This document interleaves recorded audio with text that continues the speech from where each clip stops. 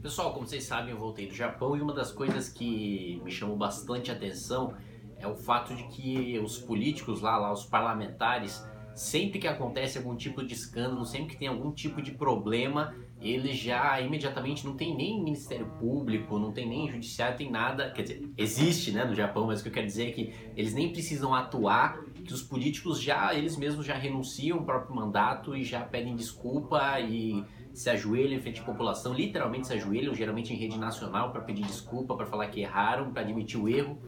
E isso não para eles limparem a barra deles, não para eles depois disputarem outra eleição. Isso basicamente porque, primeiro, por uma questão cultural, né, de você pedir desculpas quando você erra, e segundo, para eles poderem andar na rua. Né? E outro ponto é justamente o fato de que é, você tem uma, uma pressão social muito forte para que isso aconteça. No Brasil a gente não tem a mesma cultura, no Brasil a gente não tem as mesmas instituições, mas a gente pode fazer uma coisa que cria um efeito semelhante, parecido ou até mais poderoso do que isso, que é a gente fazer o voto de desconfiança, né, o recall. É basicamente como eu defendo uh, você acabar com a estabilidade dos servidores públicos de acordo com critérios objetivos, ou seja, o cara não está trabalhando, não está dando resultado, é demitido, falou, abraço, só trabalha para o Estado quem dá resultado, quem presta um bom serviço público. A mesma coisa ser aplicada para os políticos, para os parlamentares. Né? Começar acabando com a estabilidade dos deputados e dos senadores. Então, eleger o cara para mandato de 4 anos, eleger o cara de mandato de 8 anos, não interessa. Se depois da campanha ele mudou o discurso, apresentou um projeto que é completamente contrário a tudo aquilo que ele defendeu, se ele não atende às expectativas, a população pode votar para tirar esse cara do cargo. Só que para isso a gente precisa mudar o nosso sistema eleitoral que é hoje é proporcional de lista aberta, ou seja, você vota no candidato, mas você não está votando no candidato, você está votando na coligação dele. E a coligação dele, né, o número de votos da coligação vai de determinar uh, o número de cadeiras que cada partido daquela coligação vai ter, e aí você tem a distribuição de votos para toda a coligação, então não tem como você separar exatamente o voto que você deu num cara porque você não votou nele, você votou na coligação dele. Então, para você revogar o mandato de um deputado, você ia ter que revogar o mandato de todo mundo e chamar novas eleições, o que fica absolutamente inviável, né? Você está insatisfeito com um cara, é irracional você destituir todo mundo. Então, que a gente precisaria de um voto distrital, né? Separar por distritos para que cada deputado fosse eleito por sua pela sua região onde mora, que tem contato direto com o eleitorado, etc. E aí esse distrito teria o direito, né, coletando o número X de assinaturas, que a gente estuda para apresentar um projeto nesse sentido, ainda precisamos é, estudar com a equipe aqui, é, para que adquirido esse número X, o distrito tenha o direito de votar em relação, fazer um plebiscito em relação ao mandato daquele parlamentar. Mantém ou derruba, faz novas eleições, para o resto do mandato, né? Ou seja, vamos supor que se chama esse voto de desconfiança dois anos antes de acabar o mandato do cara.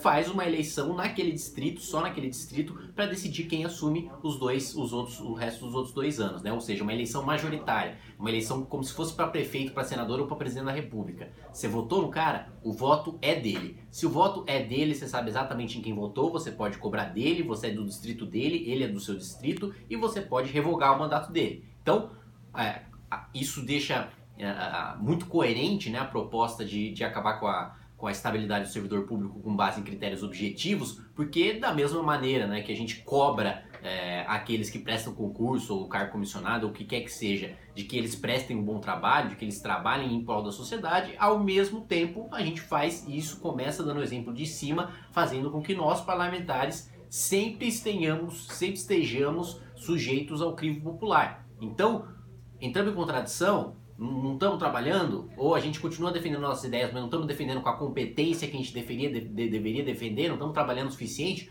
o nosso distrito está insatisfeito com o nosso trabalho, a população está insatisfeita com o trabalho do parlamentar, acabou com a estabilidade dele, acabou com o mandato dele, decide outra pessoa do distrito e ponto, acabou. Né? Então a gente consegue, é, a partir do momento que acontece um escândalo de corrupção, por exemplo, a gente já tem um incentivo gigantesco para que, como nos Estados Unidos acontece, o cara já renuncia porque ele já sabe que ele vai ter seu mandato uh, revogado pela população. Por mais que demore o processo de caçar aqui dentro da Câmara dos Deputados ou de ser condenado pelo Judiciário, na hora de ser caçado pela população, pelo voto de desconfiança, é muito mais rápido. Então o cara já sabe que para não sofrer o constrangimento de ter o seu mandato revogado via voto, ele vai lá e já renuncia, já não dá mais trabalho e já tem novas eleições no distrito. Vamos implementar, vamos trabalhar para estudar e implementar isso aqui no Brasil e a gente vai precisar muito do apoio de vocês, porque como vocês sabem, com certeza acabar com a estabilidade dos políticos, dos deputados, dos senadores aqui para ser votado por deputados e senadores é uma pauta impopular entre os parlamentares, mas claro, isso só depende da pressão que você fizer no cara que você votou é, tenham completa noção do poder de vocês, né? O poder de influência dos parlamentares está muito mais lá fora do que aqui dentro, né? Eles se preocupam com a próxima eleição e se vocês fazem a pressão suficiente para que seja aprovado, mesmo quando o cara não quer votar, ele vota. E a gente já teve exemplo disso aqui no impeachment da Dilma, né? Que até o PMDB que estava cheio de cargo no governo votou, que até o PSDB que estava em cima do muro votou teve na PEC do teto, né, na, na, na, reforma trabalhista e em diversas outras pautas que a população pressionando fez com que fosse votado, mesmo com os parlamentares estando com má vontade. Então, essa pressão que a gente vai precisar para aprovar essa uh, nova reforma, digamos assim, que acho que seria um grande passo para a nossa política, tanto no sistema eleitoral como do, do, ponto de vista ético, né? a gente poder cobrar o parlamentar com muito mais poder, com muito mais autoridade. Afinal de contas, o parlamentar é um servidor público como qualquer outro. Ele tem um mandato, ele tem, digamos, uma procuração para representar a população, mas mesmo assim deve prestar contas uh, como outro servidor público qualquer.